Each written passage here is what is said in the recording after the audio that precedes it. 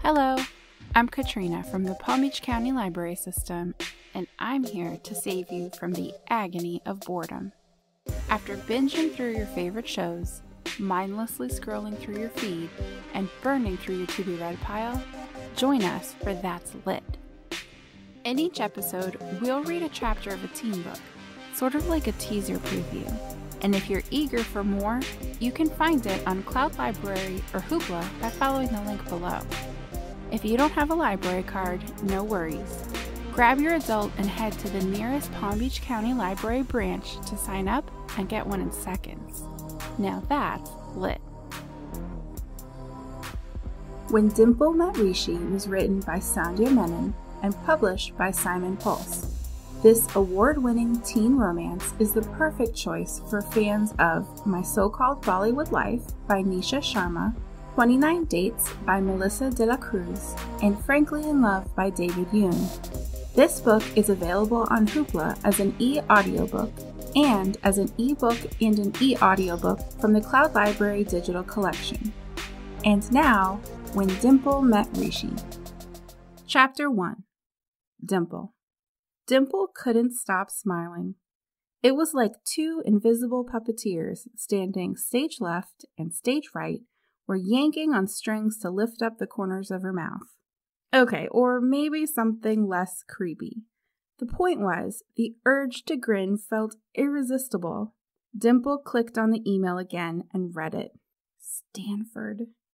She was going to Stanford. Even though the acceptance letter had come in the mail weeks ago, she hadn't allowed herself to really fully believe it until her student login details had come via email.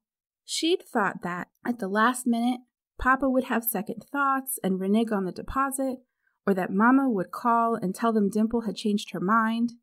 And if you didn't think Mama would do something like that, you have never met her. But no, it had all actually worked out.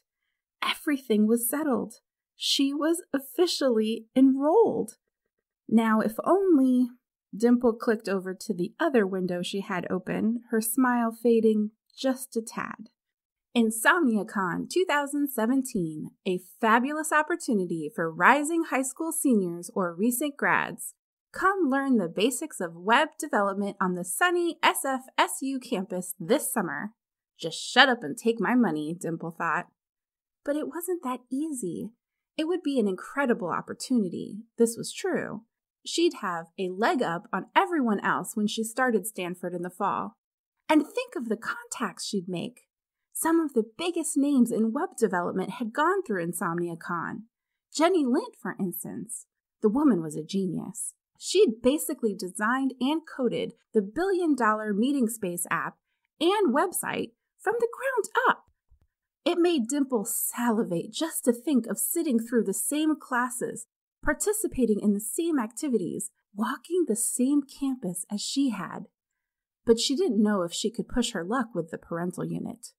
The summer program cost a thousand dollars. And while Papa and Mama were solidly middle class, they weren't exactly flush. Not to mention, she'd already stretched her luck about as far as it could go, she was sure, by asking nay, haranguing them to let her go to Stanford.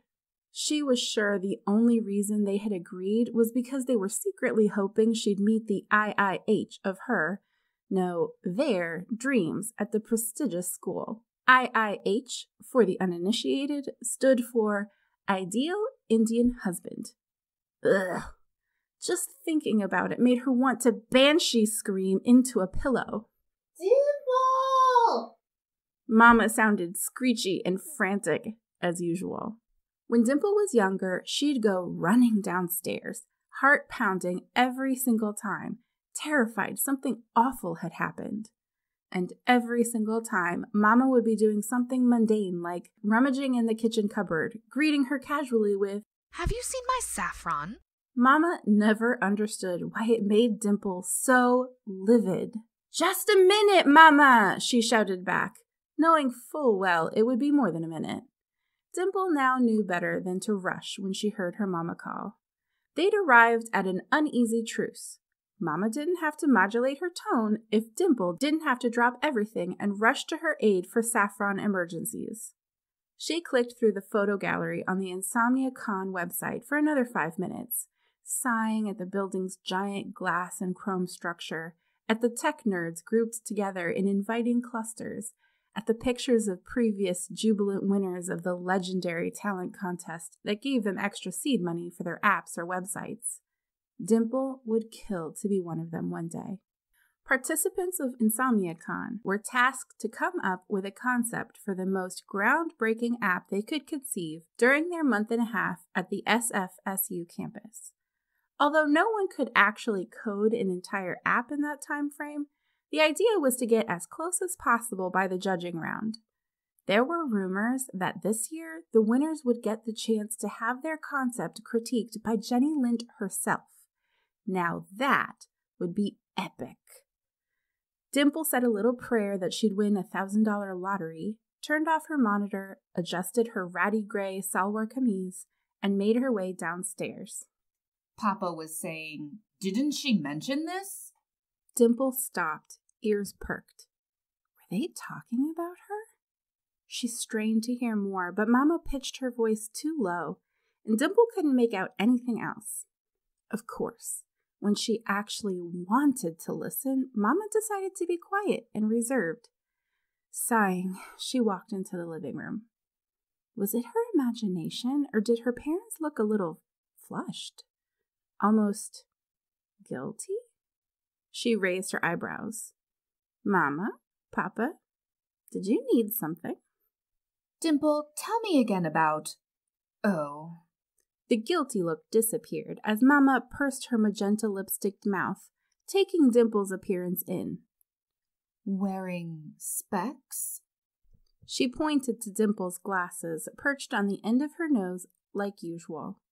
Mamma's eyes roamed, squinting with disapproval at Dimple's unruly black curly hair, which she refused to let grow past her shoulders, her face so completely unadorned with makeup and sadly, in spite of Mamma's optimistic naming, nary a dimple in sight. She should be thankful I brushed my teeth this morning, Dimple thought. But Mamma would never understand Dimple's aversion to makeup and fashion. Every other week, one of the aunties from Indian Association came over to help Mama dye her roots black while Papa was at work. He was under the impression that she still had her youthful color. Where are your contacts? And remember when I showed you how to do kajal? Kajal was the potted eyeliner that was hugely popular in Mama's youth, a trend which she apparently hadn't noticed had died away sometime in the 70s. Vividly, Dimple muttered, trying to tamp down the annoyance in her voice. From beside Mama, Papa, ever the peacemaker, was making a surreptitious, please let it go face. I just graduated three days ago, Mama. Can't I have this week to relax and be lazy? Papa's face now resembled a roti that had been left in the pan too long. Relax and be lazy? Mama thundered. Her glass bangles jangled in synchrony. Do you think you're going to find a husband by being lazy? Do you think for the past 22 years since marrying your father, I've had a minute to myself to be lazy? Of course not, Dimple thought, because you've been too busy hovering. She bit her tongue and sank down on the sofa, knowing that once Mamma got started, she'd be at it for a while. It was better to let her talk until the words petered out like those wind up chattering teeth you could buy at the joke store. There were a million things she could say in acerbic response, of course, but Dimple still hadn't ruled out asking to enroll in InsomniaCon if the opportunity presented itself. It was in her best interest to hold back. No, I haven't, Mamma continued. Lazy shouldn't be in a woman's vocabulary. Adjusting the violet dupatta on her gold and pink salwar kameez, Mamma settled against the couch. She looked like the brilliant Indian flower Dimple knew she herself would never be. You know, Dimple, a grown daughter is a reflection of her mother. What do you think others in our community will think of me if they see you like this? She made a vague gesture at Dimple's person. Not that you aren't beautiful, beti. You are, which is what makes it even more tragic. Dimple knew she shouldn't, but the flare of temper that overtook her made it all but impossible to stop the flood of words leaving her mouth. That is such a misogynistic view, Mamma, she said, jumping up, pushing her glasses up on her nose. Papa was muttering something under his breath now. He might have been praying. Mamma looked like she couldn't believe what she was hearing. Misogynistic? You call your own mother misogynistic? Mamma darted an indignant look at Papa, who appeared to be extremely invested in a loose thread on his kurta. Turning back to Dimple, Mamma snapped. This is what I'm worried about. You lose sight of the important things, Dimple. Looking nice, making an effort. These are the things girls value in our culture, not this. She made air quotes, which up until now Dimple hadn't realized she knew how to use. Misogyny business. Dimple groaned and clutched her head, feeling like that ancient pressure cooker Mama still used when she made idli cakes. She was sure that there was an actual chance she would explode. There was no way she and Mama were related. They may as well have been two entirely different species. Seriously? That's what you think I should be relegating my brain space to? Looking nice? Like, if I don't make the effort to look beautiful, my entire existence is nullified? Nothing else matters, not my intellect, not my personality, or my accomplishments. My hopes and dreams mean nothing if I'm not wearing eyeliner? Her voice had risen incrementally until it echoed off the high ceilings. Mama, caught up in the moment, stood to meet her glare. Hai, Ram, Dimple. It is not eyeliner, it is kajal. Dimple's temper flashed, the heat tempered only slightly by the dampness of disappointment. This was an argument they'd had so many times. She and Mama could probably say each other's lines. It was like they were constantly speaking two different languages, each trying to convince the other in an alien lexicon. Why couldn't Mama make the smallest effort to understand where Dimple was coming from? Did she really think Dimple had nothing valuable to contribute beside her looks? The thought made Dimple's pulse skyrocket.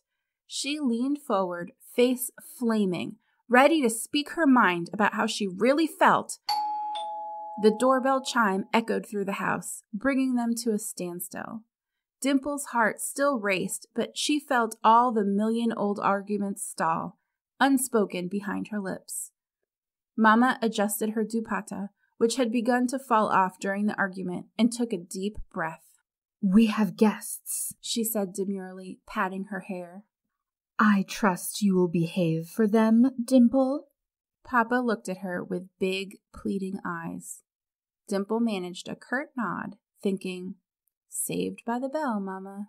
You don't know how lucky you are.